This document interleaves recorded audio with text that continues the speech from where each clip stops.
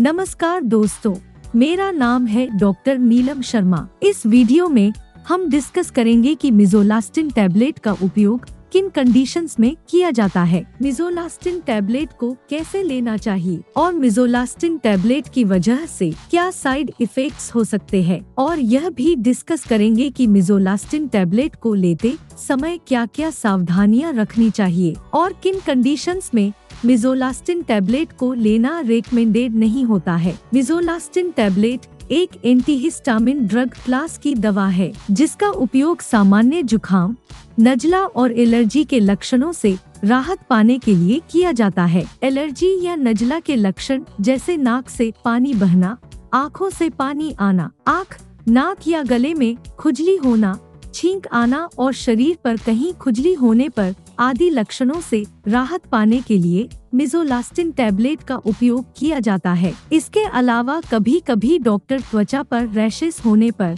और त्वचा पर खुजली होने पर भी मिजोलास्टिन टैबलेट को लेने की सलाह दे सकता है। दोस्तों, कृपया वीडियो को लाइक करना न भूलें। अब हम डिस्कस करेंगे कि मिजोलास्टिन टैबलेट को कैसे लेना रेकमेंडेड होता है। मिजोलास्टिन टैबलेट को खाना खाने से पहले भी लिया जा सकता है और खाना खाने के बाद भी लिया जा सकता है। आमतौर पर 18 वर्ष से अधिक उम्र के ज़्यादातर व्यक्तियों को डॉक्टर मिजोलास्टिन 10 एम टैबलेट को दिन में एक बार लेने की सलाह देते हैं। मिजोलास्टिन टैबलेट की खुराक उम्र, शरीर के वज़न और बीमारी की गंभीरता के आधार पर कुछ व्यक्तियों में इससे अलग भी हो सकती है। इसलिए आपको मिजोलास्टिन टैबलेट को लेने से पहले डॉक्टर से परामर्श लेना चाहिए और डॉक्टर की सलाह के बिना मिजोलास्टिन टैबलेट को नहीं लेना चाहिए। अब हम डिस्कस करेंगे कि मिजोलास्टिन टैबलेट की वजह से क्या साइड इफेक्ट्स हो सकते हैं। वैसे तो ज़्यादातर व्यक्तियों में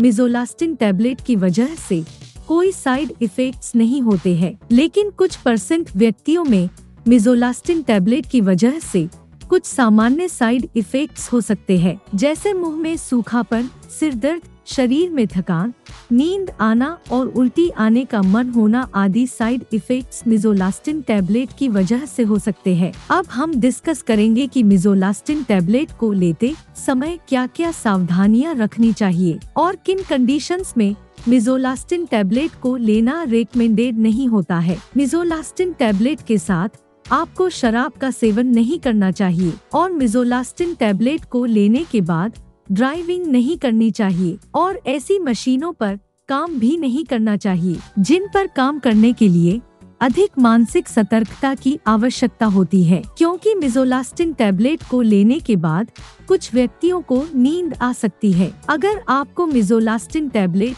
या इसके किसी भी इंग्रेडिएंट से एलर्जी है तो आपको मिजोलास्टिन टैबलेट का सेवन नहीं करना चाहिए। और ऐसे व्यक्तियों को इसके बारे में डॉक्टर को भी बताना चाहिए। अब हम जानेंगे कि क्या प्रेग्नेंट महिलाएँ और स्तनपान करा रही महिलाएँ मिजोलास्टिन टैबलेट को ले सकती है या नहीं। प्रेग्नेंट महिलाओं और स्तनपान करा रही महिलाओं के लिए मिजोलास्टिन टैबलेट का सेवन करना रेकमेंडेड नहीं है। इसलिए प्रेग्नेंट महिलाओं और स्तनपान करा रही महिलाओं को मिजोलास्टिन टैबलेट को लेने से पहले डॉक्टर से परामर्श लेना चाहिए। और डॉक्टर की सलाह के बिना प्रेग्नेंट महिलाओं और स्तनपान करा रही महिलाओं को मिजोलास्टिन टैबलेट को नहीं लेना चाहिए। वीडियो को देखने के लिए आपका धन्यवाद। अगर आपको वीडियो पसंद आया तो प्लीज़ वीडियो को लाइक कर देना, चैनल को सब्सक्राइब कर लेना। और अगर आपका मिजोलास्टिन टैबलेट से संबंधित कोई प्रश्न है तो आप कमेंट करके पूछ सकते हैं।